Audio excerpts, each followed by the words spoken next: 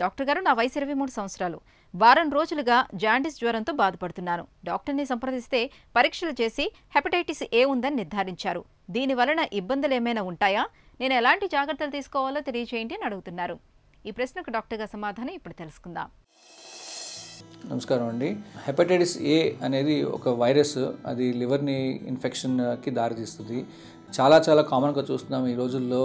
ఈ ఫుడ్ జనరల్గా ఈ హెపటైటిస్ ఏ వైరస్ అనేది ఫుడ్ పాయిజన్ తోటి వస్తుంది. అంటే మనం కంటామినేటెడ్ ఫుడ్ తినటం వలన వచ్చిన ఇన్ఫెక్షన్స్ అనమాట అది. ఆ వైరస్ లివర్లోకి వెళ్ళి కూర్చొని లివర్ని డ్యామేజ్ చేస్తూ ఉంటుందన్నమాట. వన్ గుడ్ థింగ్ అబౌట్ ఈ వైరస్ ఏంటంటే ఈ వైరస్ వలన ప్రాణానికి హాని అనేది చాలా చాలా చాలా రేర్. అండ్ మన లివర్కి మనం సఫిషియెంట్గా టైం ఇస్తే కనుక లివరే ఈ వైరస్ని తొలగించేసుకుంటుంది. కాకపోతే జనాలు చాలామంది ఏం చేస్తారు ఏంటంటే ఈ జాండీస్ రాగానే చెట్ల మందు తీసుకుంటాము వేరే ఆయుర్వేదిక్ మెడిసిన్స్ తీసుకొని లివర్ని ఇంకా దానికి టాక్సిన్స్ ఇచ్చి దాన్ని ఇంకా ప్రాణాన్ని ప్రమాదం తీసుకెళ్ళే చాలా చాలా కామన్గా చూస్తున్నాము.